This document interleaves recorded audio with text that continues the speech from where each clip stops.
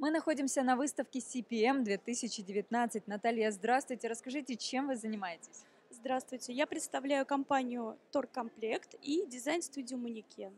А, Мы занимаемся производством продажи манекенов и производством торгового оборудования. А, У нас а, есть фабрика торгового оборудования, которая расположена в Одинцово. Я видела у вас на улице интересная инсталляция из манекенов. Расскажите, что это, как вы себя позиционируете? Э, Это наша традиционная инсталляция, а, купол в форме шара.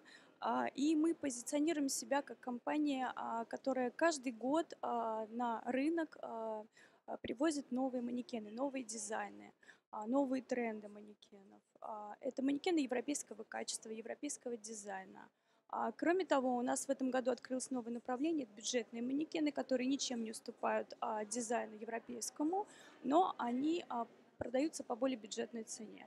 Это а, ограниченное количество серий, но их разнообразие позволяет нам работать а, на рынке fashion с компаниями, которые занимаются продажей белья, а, женской, мужской, детской, мужской и детской одежды.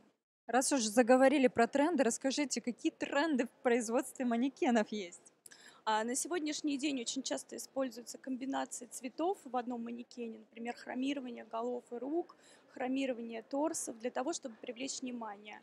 И а, еще один такой важный момент на сегодняшний день. А, Раньше компании использовали манекены прямо стоящие, в статичных позах, ровные, а, которые стояли в витринах, иногда даже в одних и тех же позах. На сегодняшний момент очень часто люди уже спрашивают а, манекены, которые изображают некую динамику, да, с помощью которых можно рассказать историю той или иной коллекции, той или иной капсулы в.